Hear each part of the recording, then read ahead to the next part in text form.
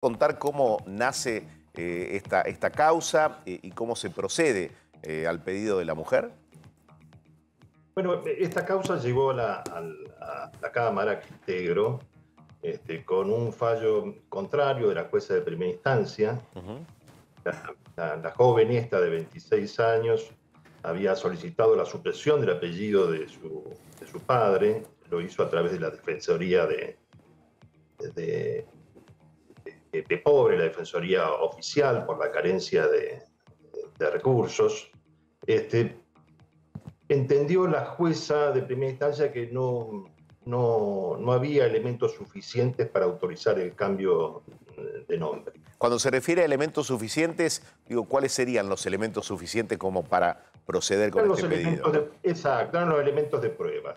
Eh, eh, nosotros tuvimos un régimen de mucho tiempo con la, la ley 18248, la ley de nombres, y, y luego esta fue modificada con la reforma de, de la legislación de fondo, con el dictado del Código eh, Civil y Comercial en el 2015, que introdujo unas cuantas modificaciones. ¿no? En materia de apellido, sabemos hoy que eh, puede llevar tanto el apellido materno como el paterno, es O ambos. y eh, o ambos, obviamente, o ambos, este, se ha acordado un poco más de, de flex- flexibilización, de, de- de posibilidades de, elección, eh, tanto en relación al nombre de pila como al, al patronímico, ¿no? al apellido.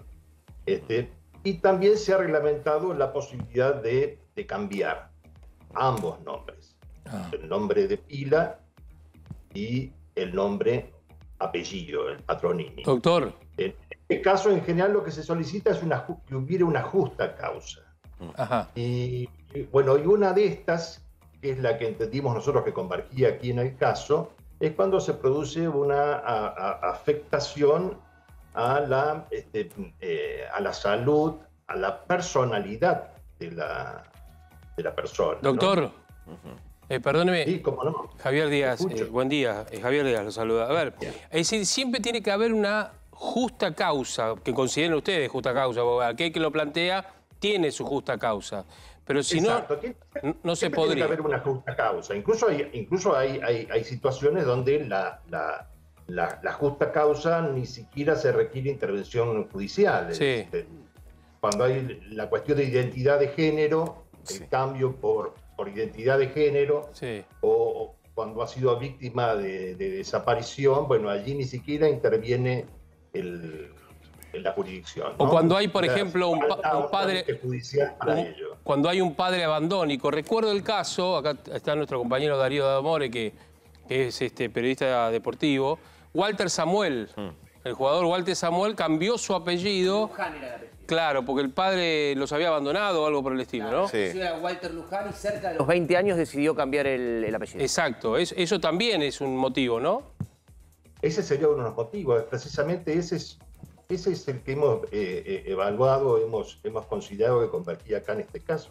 Sí. Este, uno cuando habla de, de- de violencia, eh, este, la violencia no es exclusivamente la violencia física, la del golpe, la del maltrato, la violencia verbal, Sí. eh, sino hay una violencia por allí psicológica, hay una violencia este, de orden económico, cuando el caso del- de los padres abandónicos es precisamente, son supuestos de, de- de violencia. Claro, sí, sí, sin lugar a dudas puede manifestarse impacto- de distintas maneras. Doctor, para muy cerrar. Importante, muy Sí. importante en la psiquis y en la personalidad de- Claro. de- del sujeto, que es lo que uno debe proteger. Uno no está haciendo, eh, eh, dando libertad plena para la elección del nombre. El nombre tiene una significación, hay un interés público comprometido en el nombre que hace la individualización eh, e identidad de las personas, pero también hay un interés público que es superior, que es aquel que tiene que ver con el bienestar de esa persona y con la posibilidad de formación de, de- de- de su integridad. Bien. Doctor, muchísimas gracias por hablar con nosotros. ¿eh? Al contrario, gracias a ustedes. Muy amable.